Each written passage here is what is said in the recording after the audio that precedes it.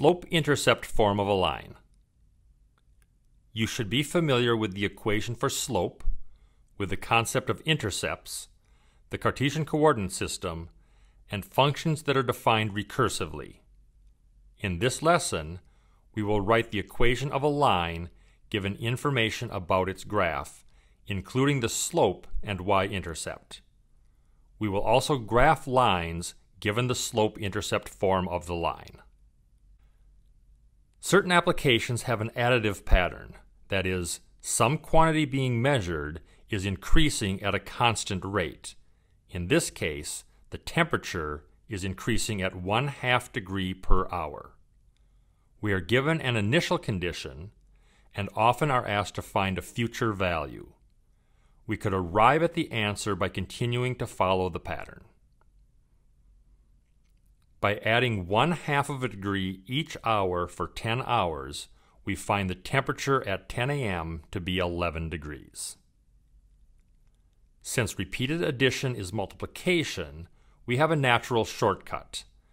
We begin with the initial temperature at midnight of 6 degrees.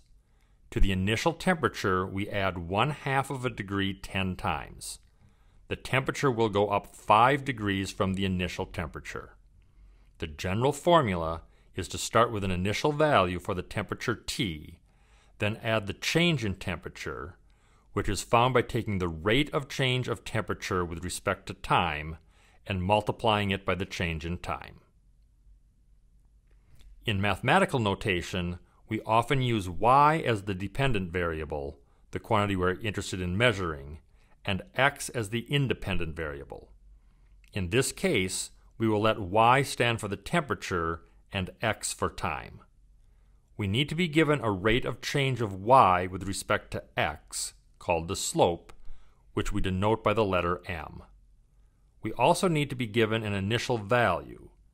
The initial value typically corresponds to the y value when the x value is 0, which is the y-intercept. We denote the y-intercept by the letter b. The equation then becomes y equals mx plus b.